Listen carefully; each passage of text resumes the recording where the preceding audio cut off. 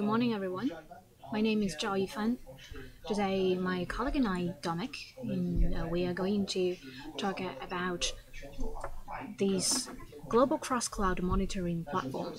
Firstly, I'll just briefly make a self-introduction. I've been with Improbable for almost uh, six years, from 2013 to now. And uh, actually, I'm the founder of the Improbable China, transporting the technologies from Improbable UK to China, and I'm involved in the core technique development and uh, software engineering. So before we start, I want to ask you a small question. It's a bit abstract.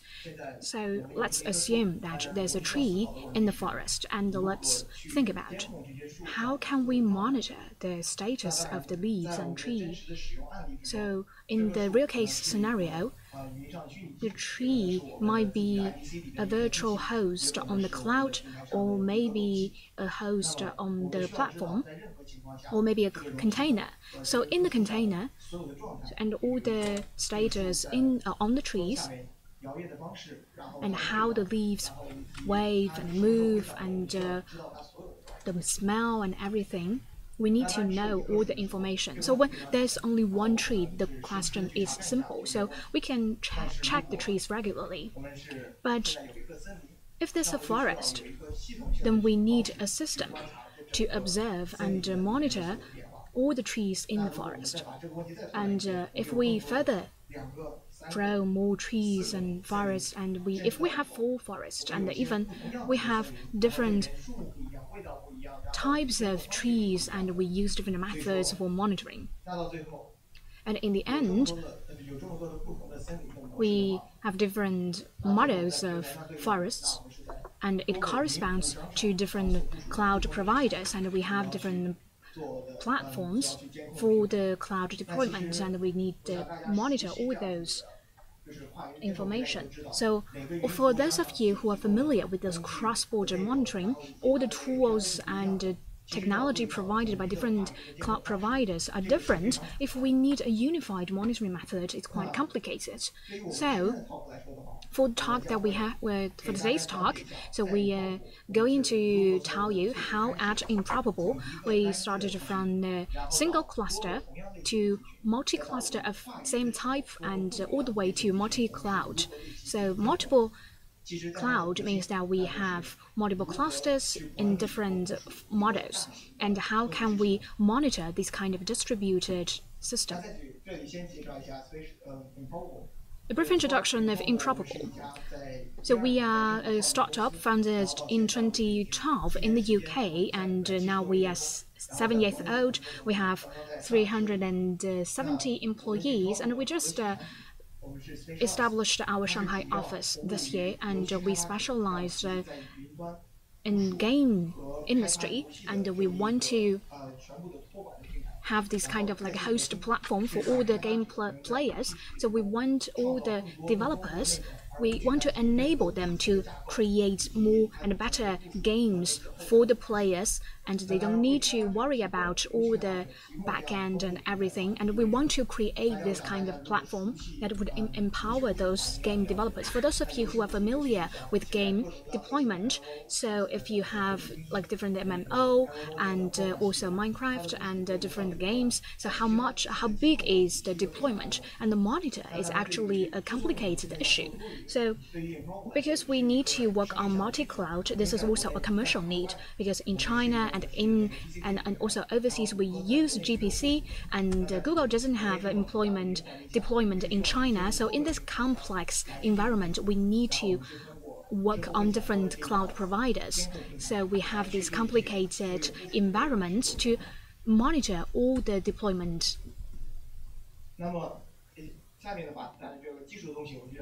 So I'll just uh, now give the floor to my colleague Dominic Green, and Dom will go through all the tech side of our funnels and uh, the whole process of our developing. So the floor is yours, Dom.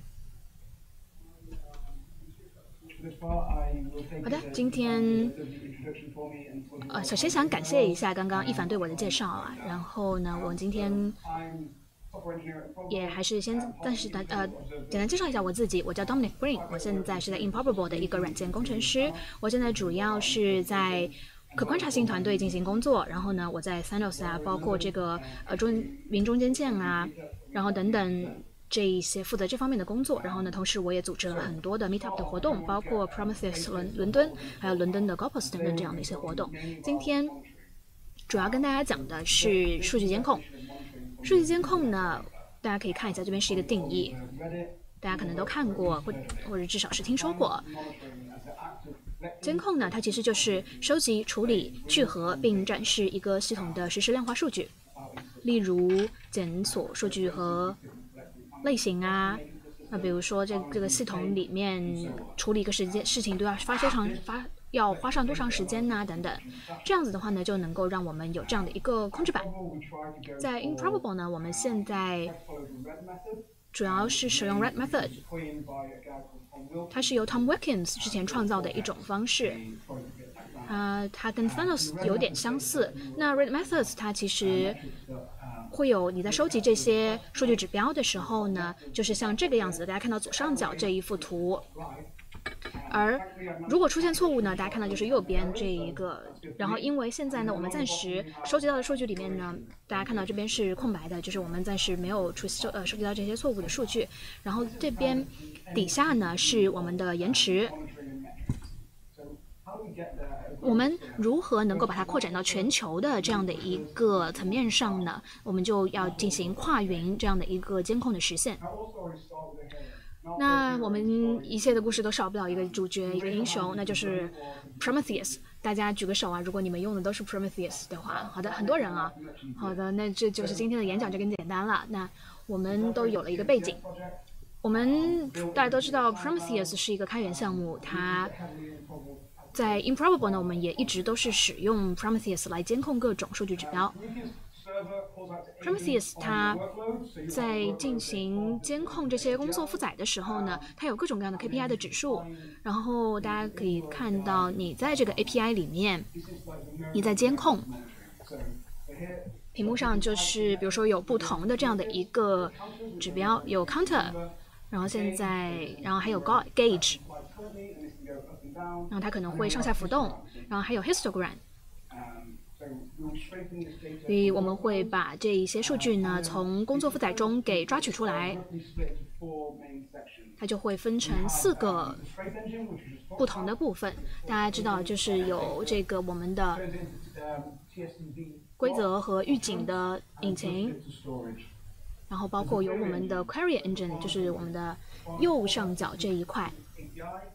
然后呢，它会从 Grafana。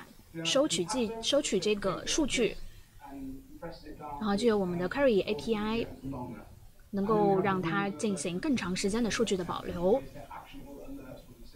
这样子的话呢，我们的工程师就能够从系统收到有效的预警。那今天呢，我们想来看一下如何把 Prometheus 扩展到全球的规模，然后把这几个东西呢。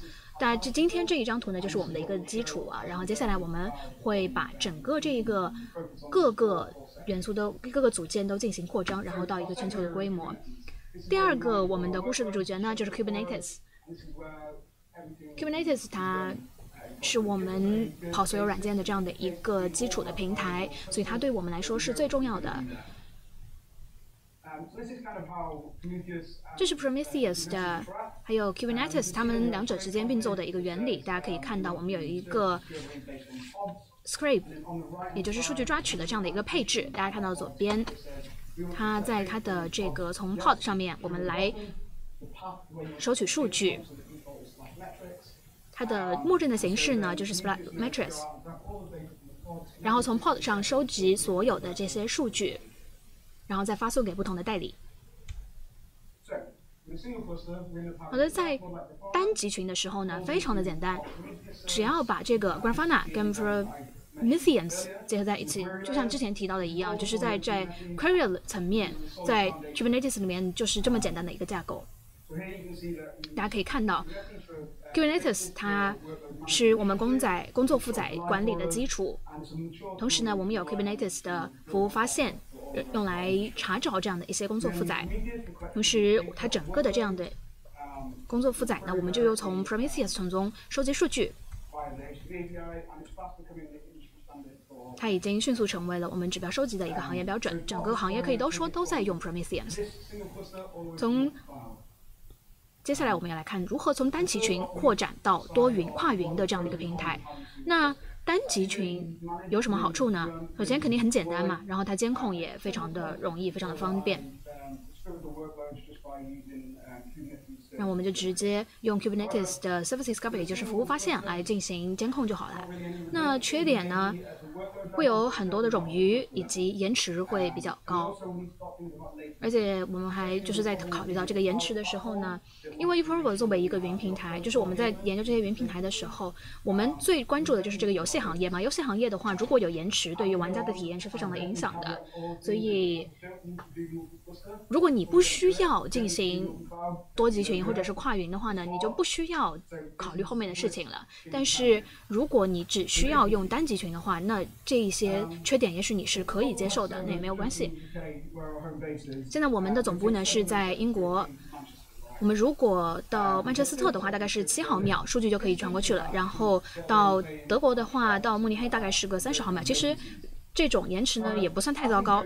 但是如果说是全球化的这样的一个布局的话，那这个延迟的影响就会比较大了。比如说到中国就要三百毫秒，然后到悉尼的话要两百八十毫秒。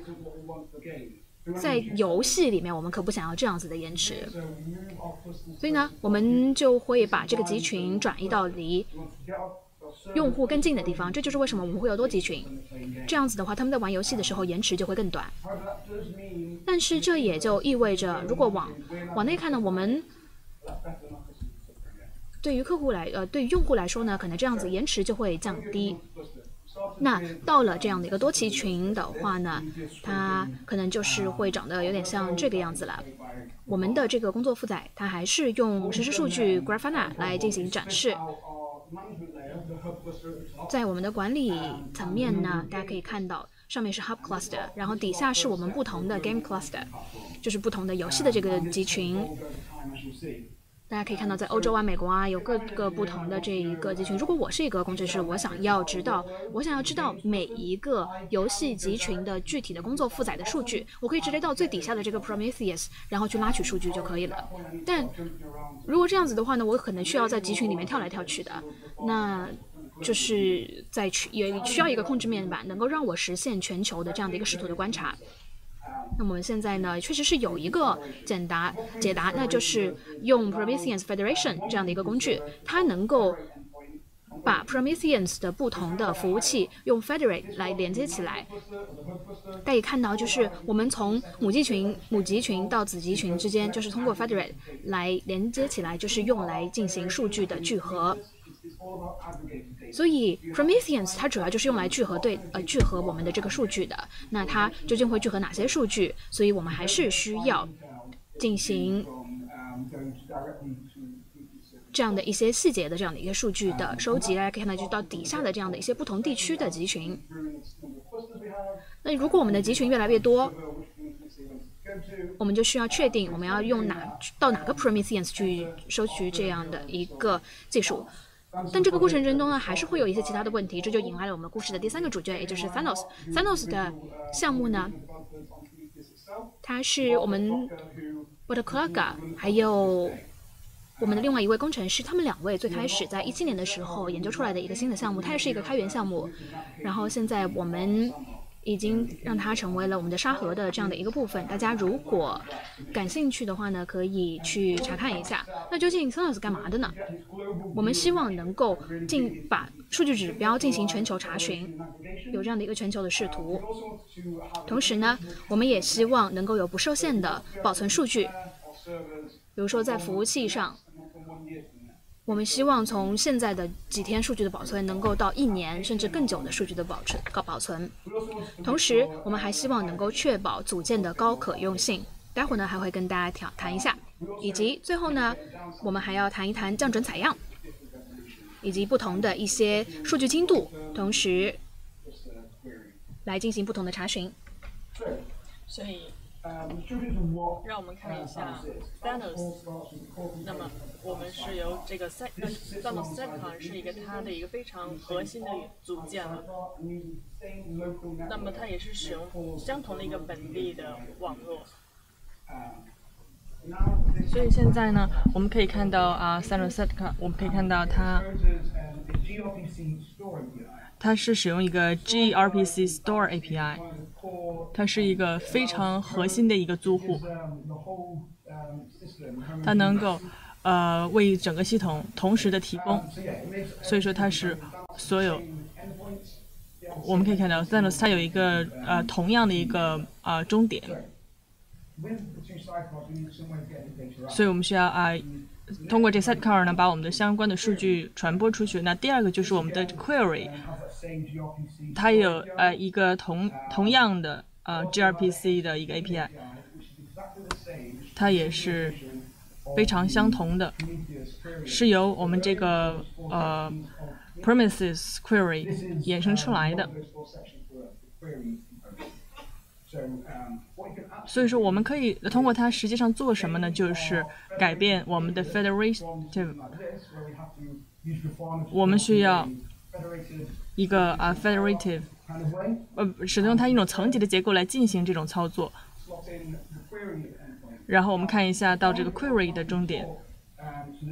当我们考虑到啊 query 的话，因为它们其实都是使用啊相同的一个 API，其实它可以到所有的这个 store API。那么在这个范例中，我们可以看到，其实一个 query 就是能够呃与另外一个 query 的 API 进行沟通，其实能够把数据相关的进行融合融合。那么我们可以看到，呃，在这个仪表板上呢，这可以能够把这个 A P 呃。呃，把所有的数据集合集合在一起，那这个呃图表就为我们展示出了，在一系列的一些 Thanos 它的相关的数据，我们可以看到它是来自于三个呃集群，那也是基于我们所收取的一些数据，所以说它是一个集成，是从我们这个机器上直接啊拿下来的一些数据。我们可以看到，呃，有的时候会把数据啊传播回 Thanos，它也看到一些相关的元器件，所以说每两个小时，啊这些数据就会会传播到我们的这个呃桌面。现在我们会支持一系列的一些呃格式，呃通过阿里云。我们能够实现这个技术来得以实现，我们也是与阿里云进行合作。那现在我们每一个 sidecar 都能够呃放到一个 GCP 的一个呃组件里，那也能够进行长期的使用。但是同时我们也想聚集这些数据，所以说我们需要啊 Thanos 它有一个储存的 API。那我们可以看到它有一个 API 能够来。呃，从一些相关的物体中获取相关的数据。非常有趣就是我们在 Thanos 里面的每一个组件，它都能够告诉 Query 我们有什么样的数据，以及我们有怎样的一个时间序列。所以说我们在每一个 Sidecar 呢，在过去的两个小时，我们能够减少我们的这个小时间。那么我们可以看到，大概有十五天。然后能够把数据进行存储，我们能够把它们集中在一起，这样来确保我们也能够啊抵消它的一些处理的时间。这样的话，能够直接的把它放到我们这个存储库，所以说我们能够找到直接呃去找到它的这个 object storage，这样的话能够大大的帮我们节节省时间。那么它其实它也建立了一个版图，就是我们。我们的时间都花费在哪里？所以说，query 能够直接进入到它的这个 time series，这样的话，它能够减少过程中所消耗的所有时间。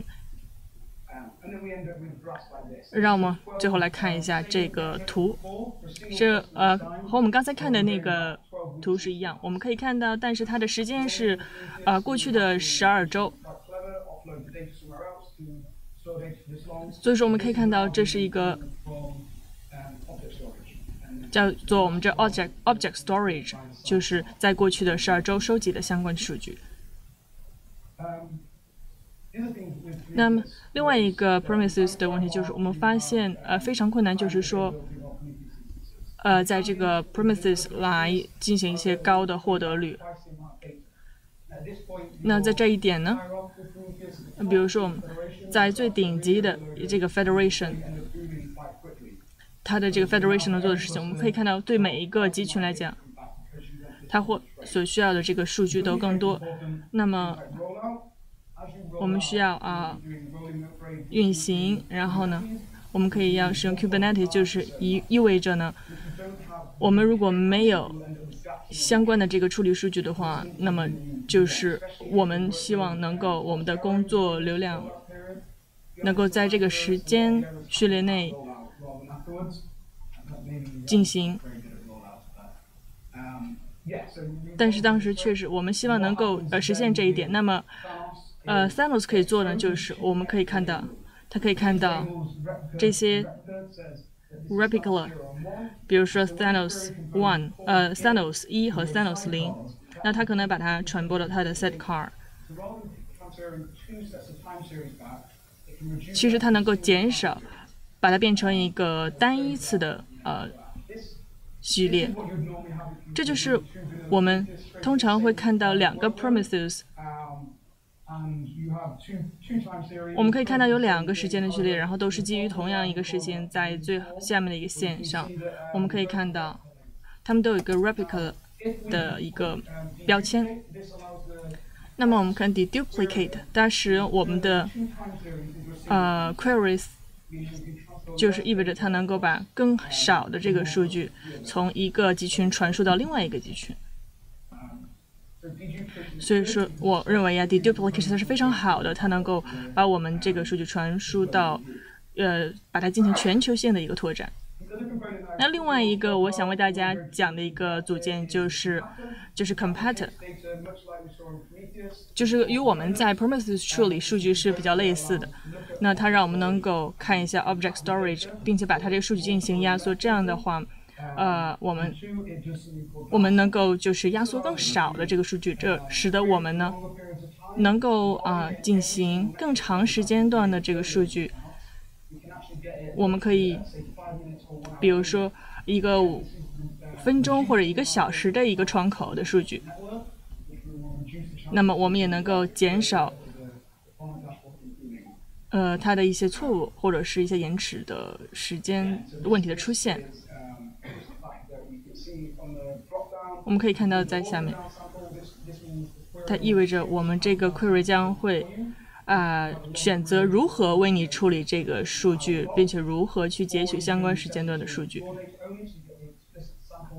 所以说，我们可以看到，呃，直接从 premises 呃 premises 呃里面来处理数据，或者是通过 Windows 来处理一些数据。我们可以看到，把它进行到了一个多集群的一个层面了。那么，能够减少网络连接过程中所呃需要的时间。那么，能从我们这两个窗口直接在 A 啊 Premises 里面 API，然后把它呃传输到我们这个 Object Storage 上。这是在 GCP 现在在运行的，所以说我们可以看到，在我们这个故事中讲的三个英雄，一个是 Kubernetes，它是能够在所有的集群中有一个持续性的方法，而且我们也把它应用于这个服务的发现，同时，啊，我们也会发现，它有的时候可能 Prometheus 可能有时候会有一些问题，无论。我们不用呃不需要在这个 PSCB 上改变任何的数据，然后我们有 Thanos，它能给我们提供一个全球的视野，而且它的这个数据留存率是非常高，H 而且它能够呃当 sampling 我们的这些数据。同时呢，我们也可以把啊一些测量指呃从这个 Object Storage 上的一些呃测量指标来啊用于啊 Thanos 的 Sidecar，然后它也基于我们现存的一些 Prometheus 的基础设施。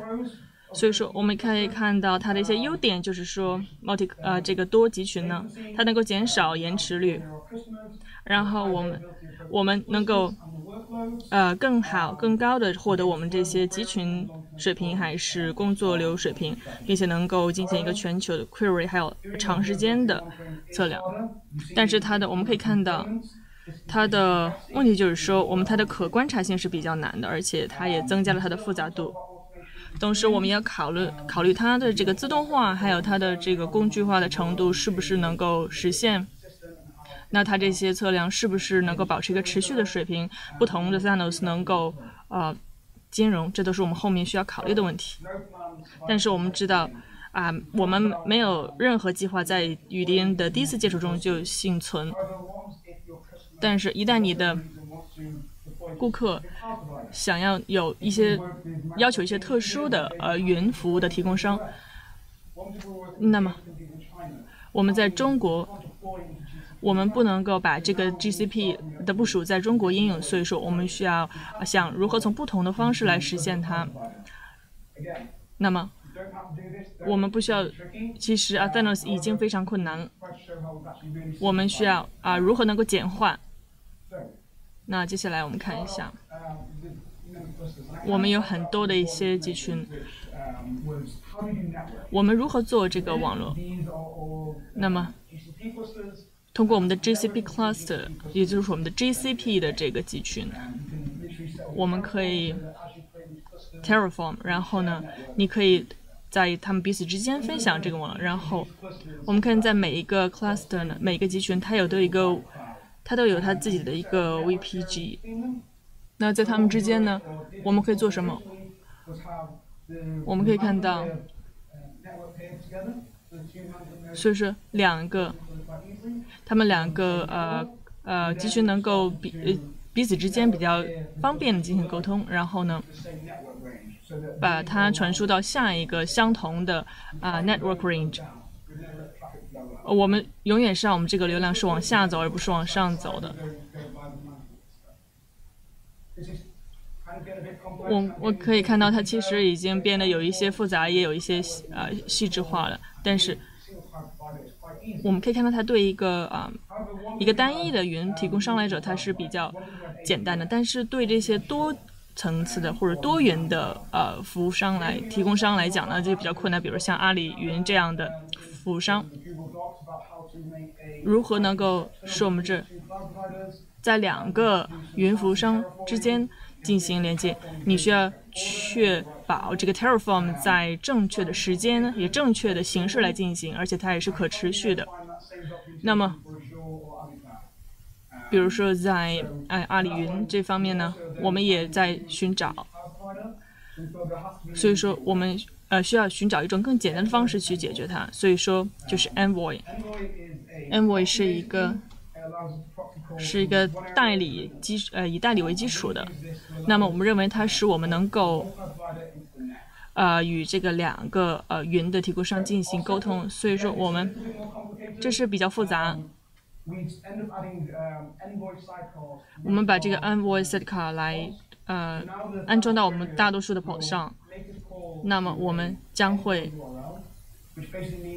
意味着我们对 Envoy 的一个路线将会确保我们的这个沟通呢是安全的，并且能够把它能够传递到不同的集群的公共云。所以说，我们可以看到所有的这些集群能够 DNS。这样的话，我们能够知道。呃，他们中间会发生什么？我们知道每一个代理的一个 envoy 都知道，他能够把在另外一端呢，我们有一个 envoy 能够使这些呃数据进来，然后把它分拨出去。我们也可以对每一个云服务商都用同样的方式，然后都是在 envoy 然后加上这个代理，放到这一个集群里面。然后在每一个集群里面都是同样的模式，所以它就能够让这样一个虽然说看起来好像挺复杂的这个解决方式，但是我们在每一个这一个集群里面其实都是一样的部署。然后这边呢，大家可以看到，在我们的这个对象存储里面呢，我们这样的一个部署。之所以说会采取这样子的一个，不好意思，我把它中观一下。我们这样的目的呢，其实就是想要查询更加的反响应更加的快速，所以这样的话，我们的这个赛啊组件就是像这样子完成它的一个部署，然后这样一来，我们在进行查询、进行 query 的时候呢，就能够确保进行全球的一个查询的时候。我们的 API，可以看到，我们就到了这个 store component，然后 site sidecar 就到了同一个集群里面，然后都是通过同一个 envoy 进行传输。所以你在，你可以把 GCP 中间的这样的一个数据给收取出来，然后呢再直接复制粘贴，这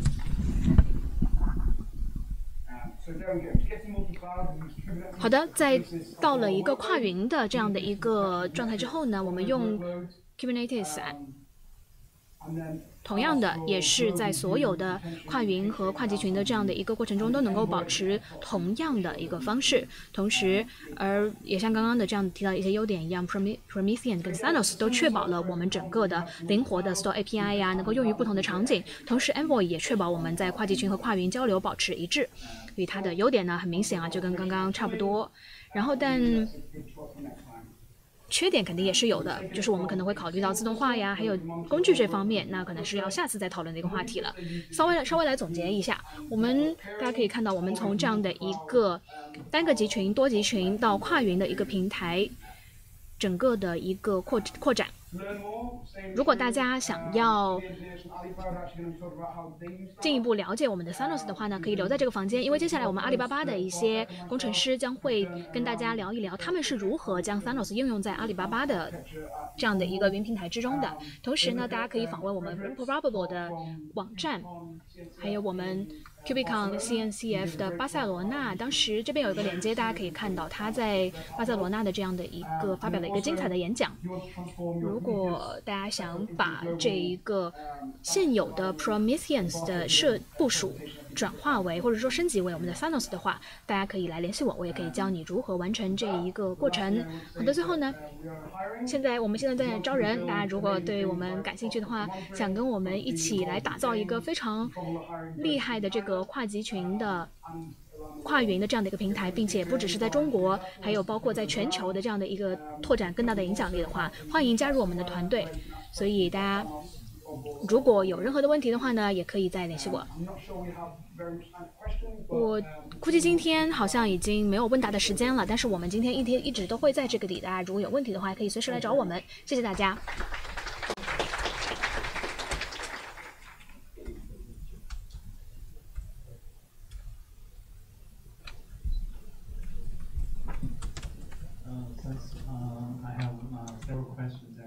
谢谢。我其实有几个问题啊。首先，第一个问题，如果你用 Tanos 的话，然后你从最原始的这样的一个设置上进行 penalty，然后如何你如何进行这个设置呢？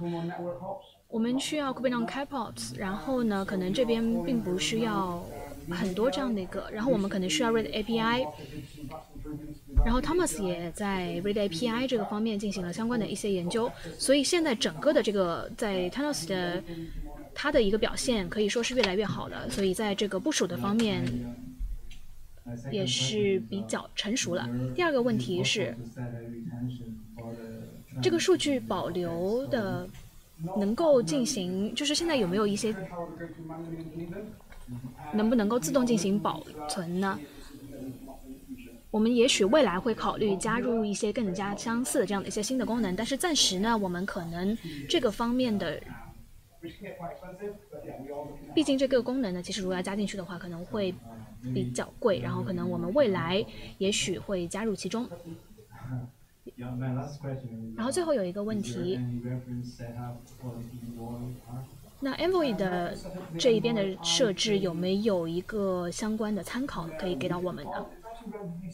其实整个的这样的一个设置非常的简单，我可以到时候发一篇文章，然后在 InfraRobo 的博客上进行发布。大家如果感兴趣的话，到时候可以去查看。其实它就是在各个集群之间，因为我们这边有这个 roots and 呃呃 roots 和这个集群，然后大家可以到时候看一下，把它进行分步骤进行设计设置，其实还是挺简单的。好的，估计现在我们时间已经到了，如果我们有什么想法的话，可以进一步进行交流。